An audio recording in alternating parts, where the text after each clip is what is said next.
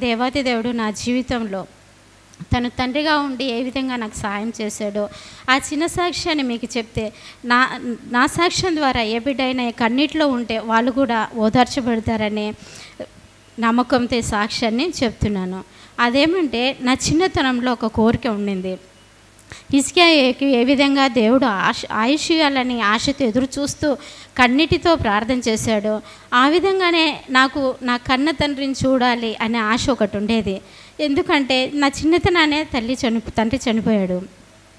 ఆయన ఎలా ఉంటాడో నాకు తెలీదు. ఐదు సంవత్సరాలు ఉంటాయేమో బహుశా. కానీ నా ఆశ ఒకటి ఉండేది. ఎందుకంటే ఫ్రెండ్స్తో ఇంటికి తిరుగుతుంటాను అందరింటికి వెళ్తున్నాడు వాళ్ళ నాన్నలను చూస్తూ ఆ బిడ్డలు తండ్రిని ఎంత ప్రేమిస్తున్నారో చూస్తుండేదాన్ని. నాకైతే ఎంతో బాధ అనిపించేది. అనుకునేదాన్ని కానీ ఒకరోజు ఏమైందంటే నేను అది సమ్మర్ అనుకుంటాను చిన్నదాన్ని. హై స్కూల్ స్టాండర్డ్ కూడా వెళ్ళి ఉంటాను బహుశా చిన్నదాన్ని. నేను అది సమ్మర్ టైం నేను నా తమ్ముడు బయట పడుకున్నాము. అదే ఆలోచిస్తూ పడుకొని వాడు పడుకున్నాడు మాట్లాడుతూ. రాత్రి ఆకాశం వైపు చూస్తున్నాను నక్షత్రాలన్నీ. అప్పుడు పల్లెటూరులో ఊర్లలో మామూలుగా సమ్మర్ వస్తే బయటనే కదా పడుకుంటారు అందరూ. పడుకొని ఆకాశం వైపు చూస్తూ లెక్క చుక్కలను చూస్తూ నా కళ్ళల్లో నీళ్ళు గారుతున్నాయి. ప్రభువా డాడీ నా నాన్నమ్మ మీరు ఎక్కడున్నారు ఒక్కసారి నాకు అనిపించండి. నేను ఏమి అడగను? నీ ఆకారం ఒకసారి చూస్తాను. నా తండ్రిని నేను చూసుకోవాలని అని ఎంతో మనస్ఫూర్తిగా ఏడుస్తున్నాను కానీ కన్నీళ్ళు కారిపోతున్నాయి నా కళ్ళలోంచి. అలా ఎంతసేపు ఏడ్చానో నాకైతే తెలియదు కానీ ఆ రాత్రి దర్శనం అనుకుంటాను కళ అనుకుంటానో నాకైతే కానీ అది ఎప్పుడు మర్చిపోకుండా అప్పుడప్పుడు నేను నన్ను జ్ఞాపకం చేసుకుంటాను. మన పాస్టర్ గారు వాక్యం చెప్పినప్పుడు దాన్ని మీలో పంచుకోవాలని ఆశపడ్డాను. అదేమంటే ఒక సముద్రం మన చౌపటి ఉంటుంది కదా అలా నిర్మానుషంగా సముద్రం ఉంది. అక్కడ ఇసుక దెబ్బలు ఇలా ఉన్నాయన్నమాట. ఆ ఇసుకల మీద ఒక చిన్న బిడ్డ నేను కూర్చున్నాను. స్కర్ట్ వేసుకున్నాను చిన్న రెండు జల్లు వేసుకుని చిన్నగా డ్రెస్ కూడా గుర్తుంది నాకు. బ్లూ అది మరి వైలెట్ కలర్ రెండు మిక్స్ ఉన్నాయి. అట్లా కూర్చొని ఒక్కదాన్ని కూర్చొని ఇసుక పైన ఏడుస్తూ ఉన్నాను అనమాట అప్పుడు ఒక వ్యక్తి వచ్చాడు ఎవరో నా దగ్గరికి అయితే తెలియదు నేను ఆకారం కనిపించలేదు. ప్రశాంతమైన వెలుతురు తెల్లు తెలుపు అన్నమాట. ఆ తెల్ల డ్రెస్ కిందికి ఉంటుంది కదా మొత్తం పాదాలు జీరాడుతుంది. పాదాలు అయితే కనిపించలేదు. మొత్తం వైట్. ఆ వైట్ ఎట్లా అంటే చుట్టూ ఇట్లా వెలుగు వస్తుంది ఆ వైట్ చుట్టూ.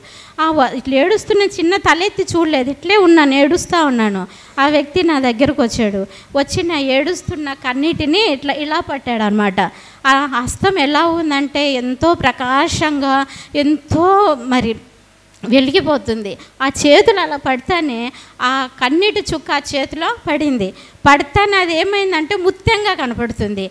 ఆ ముత్యాన్ని తీసుకొని ఇంకొక చేతిలో ఒక బాటిల్ ఉంది ఆ బాటిల్ వేస్తున్నాడు. ఆ బాటిల్ ఆల్రెడీ అది ఎట్లుందంటే ఆ బాటిల్ మనం చిన్నప్పుడు ఇంకు బాటిల్స్ ఉంటాయి చూసారా? సిరా బాటిల్స్. అది ఎట్లా అంటే ఎగ్ సేపులు ఇట్లా ఇట్లా ఉండి రౌండ్గా ఎట్లా ఉంది. ఆల్రెడీ దాంట్లో అర్ధం ముత్యాలు ఉన్నాయి.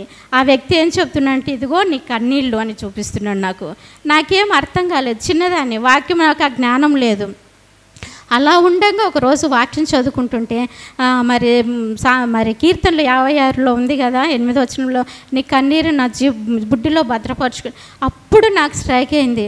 ప్రభు నేను చిన్న ఉదయాన్నే లేచి అమ్మకి చెప్తాను అమ్మ నాకు నాన్న కనిపించాడు కానీ నేను ముఖం చూడలేదు చెయ్యి చూశాను. చాలా తెల్లగా మెరిసిపోతున్నా. అంటే వాళ్ళేం పట్టించుకోలేదు చిన్నపిల్ల కదా.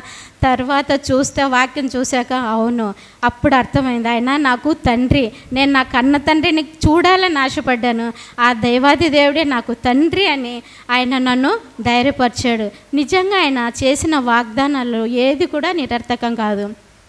ఎప్పుడైనా తండ్రి లేని వారికి నేను తండ్రిని ఆయన ఆయన ఎప్పుడైనా వాగ్దానం ఆ బైబిల్లో చూశానంటే నాకు చక్క అదే స్ట్రైక్ అయిపోతుంది. నిజం ఆయన చేసిన వాగ్దానాల్లో నిజము సత్యమైనది.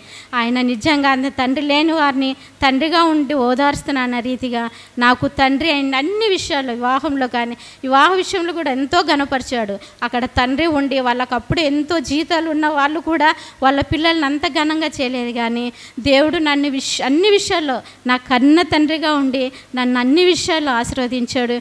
నిజంగా ఆయనకు నన్ను ఆయన బిడ్డకు సాక్షిగా నన్ను ఉంచుకున్నందుకు దేవునికి ఎంతగానో వందనాలు చెల్లిస్తున్నాను.